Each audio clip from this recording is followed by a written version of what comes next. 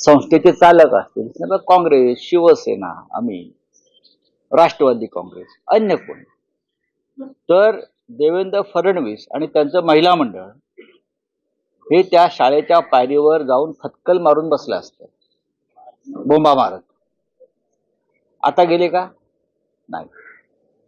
किंवा मधल्या काळामध्ये योगींचं राज्य जे सुरू आहे बुलडोजर राज्य तसे काही ठिकाणी अशा गुन्ह्यानंतर बुलडोझर चालवण्याचं काम मिंदे सरकारने केलं.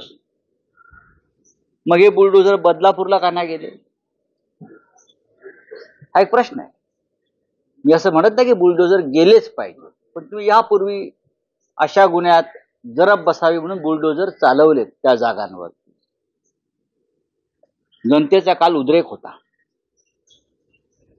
आणि याला पब्लिक क्राय म्हणतात. कायदेशीर भाषेत. आणि जेव्हा जेव्हा असा पब्लिक क्राय झाला तेव्हा त्याची दखल न्यायालयानं घेतलेली आहे. अनेक प्रकारात मग कालच्या पब्लिक क्रायची दखल सर्वोच्च न्यायालयानं का घेतली नाही? कलकत्त्यातल्या घटनेची दखल सर्वोच्च न्यायालय घेतं. कारण तिथे ममता बॅनर्जीचं सरकार आहे. इकडे पब्लिक क्राय कलकत्त्यापेक्षा जास्त होता काल. पण त्या चिमुकल्यांचा आक्रोश पब्लिक क्राय हा न्यायालयाचे कानाचे काल पडदे फाडू शकला नाही. देवेंद्र फडणवीस यांनी एसआयटी स्थापन केली अशी घोषणा केली. काय गरज आहे?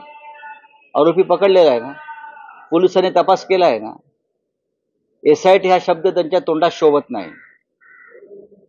ठाकरे सरकारनं अनेक गुन्ह्यामध्ये ज्या एसआयटी स्थापन केल्या होत्या त्या गृहमंत्री झाल्याबरोबर पहिल्या चोवीस तासामध्ये देवेंद्र फडणवीस यांनी सगळ्या टी रद्द केल्या. याचा अर्थ तुम्ही एस आय टी मानाला तयार नाही कोणतीही.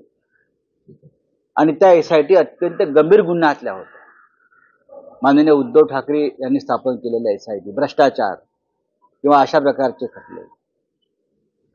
त्यानंतर आपले सन्माननीय मिंधे मुख्यमंत्री यांनी खटला फास्ट ट्रॅकवर चालेल वगैरे वगैरे अशा गोष्टी. काय असतं फास्ट ट्रॅक या घटनाबाह्य सरकारचा खटला फास्ट फास्ट ट्रॅकवर चालला पाहिजे. तिथे हे सर्वोच्च न्यायालयावरती न्यायालयावर दबाव आणून तारखांवर तारखा पाडतात. बलात्कार जसा अबलेवर होतो तसा राज्यघटनेवर सुद्धा होतो. आणि महाराष्ट्रात सरकार हे राज्यघटनेवर बलात्कार करून निर्माण झालाय. हा खटला त्यांना फास्ट ट्रॅकवर नको आहे त्यांच्या तोंडसुद्धा फास्ट ट्रॅकची भाषा शोभत नाही. आता विषय राहिला कालच्या घटनेचा आणि सरकारच्या मानसिकतेचा. सरकारची मानसिकता ही प्रधानमंत्री मोदींची मानसिकता आहे. हे मी अत्यंत जाणीवपूर्वक बोलतो आहे जे प्रधानमंत्री कर्नाटकात एका बदनाम बलात्काराच्या प्रचारासाठी गेले. प्रज्वल रेवण्णा. त्यांना माहीत होतं याच्यावरती बलात्काराच्या दोनशे पेक्षा जास्त महिलांनी लैंगिक शोषणाच्या तक्रारी केलेल्या आहेत. शेकडो व्हिडिओज त्याचे बाहेर आलेले आहेत.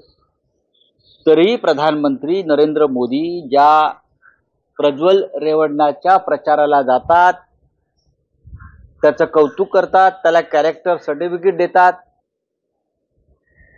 असं नेतृत्व जे महाराष्ट्र सरकार मान्य करतं बलात्काराला प्रतिष्ठा देण्याचं त्या सरकारकडून तुम्ही काय अपेक्षा करता? आणि म्हणून बदलापूर मधल्या जनतेनं जो आक्रोश केला तो निंदे सरकारविरुद्ध होता. तो प्रधानमंत्री मोदींच्या वृत्तीविरुद्ध होता की हे सरकार लैंगिक शोषणाच्या प्रकरणात बलात्काराच्या प्रकरणात काही करणार नाही. काही करणार नाही आणि शेवटी गुन्हेगारांना वाचवलं जाईल. या उद्रेकातून जर लोक रस्त्यावर उतरले असते